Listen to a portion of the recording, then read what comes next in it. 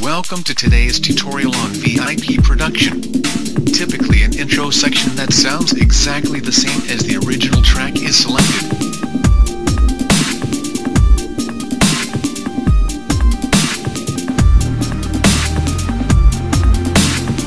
Perhaps even edited to sound a little different.